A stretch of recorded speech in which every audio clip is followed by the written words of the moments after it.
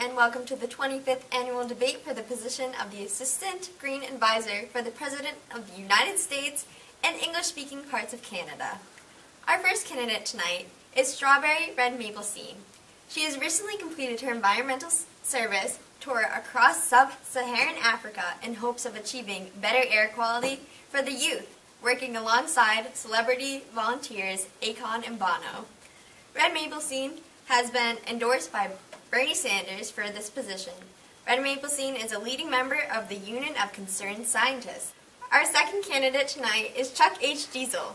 Diesel formerly held the position of president of the Environmental Science Club at Alabama State University for six and a half semesters.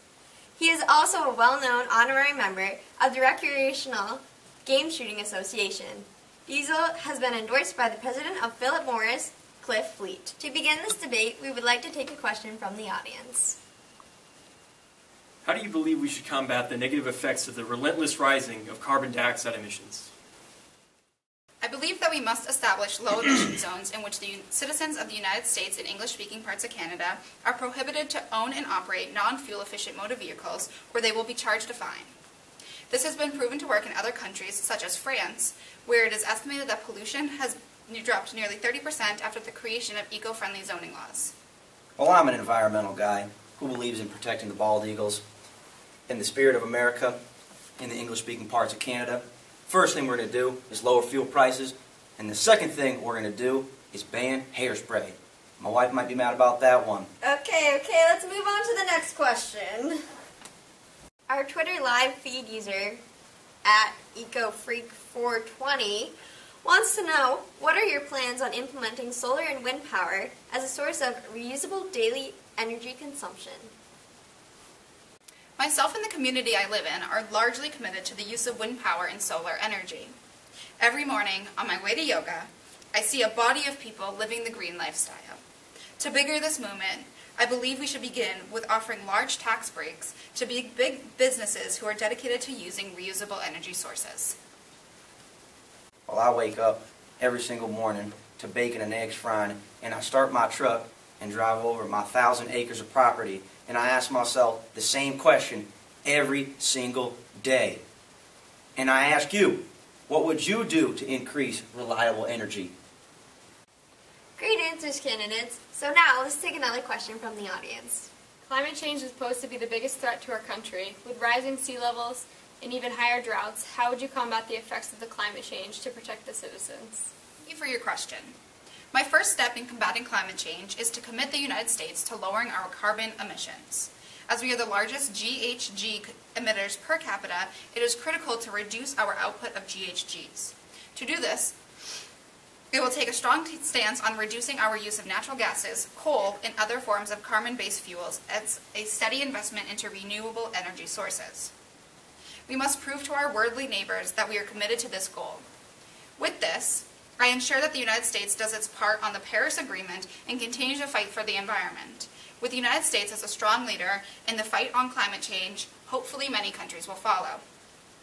And as a planet, we will continue to work for a world where our grandchildren and their grandchildren can have the natural resources, health, and safety required to live productive lives. As you may know, only 9 D7% of climate scientists agree on the idea that climate change is even real.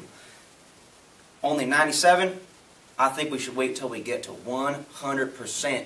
Ask the EPA, ask NASA, 100%, then we'll do it. The Union of Concerned Scientists states that 21% of greenhouse gas emissions in the U.S. are caused by industries alone. What do you propose we do to decrease this effect, considering that amount of industries in America could continue to grow in the future.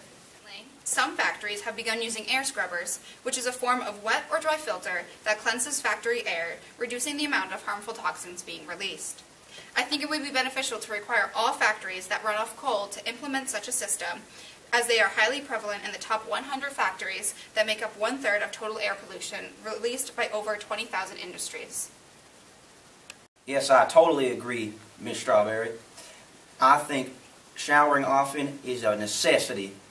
And that goes for the air as well. The world needs cleaner air and cheaper air. And I think giving it a good bath every single once in a while just might do the trick. Remember, America, rinse and repeat. Thank you, candidates, for your answers. Okay, moving on.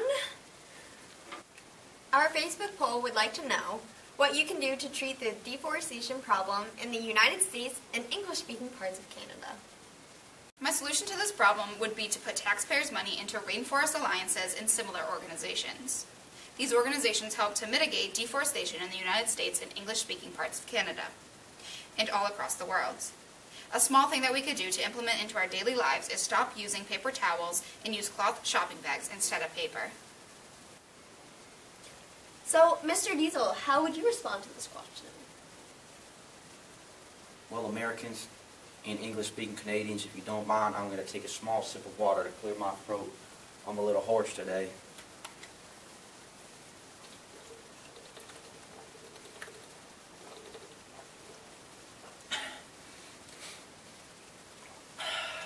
That's good water, straight from the Poland Spring.